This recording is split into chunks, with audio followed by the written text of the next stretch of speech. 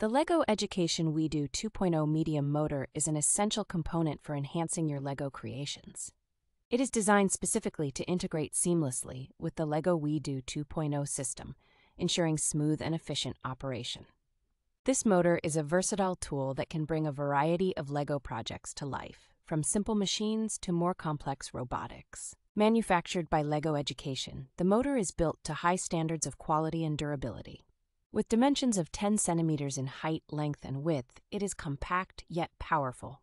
The LEGO WeDo 2.0 motor is ideal for educational purposes, helping students to explore the basics of mechanics and programming.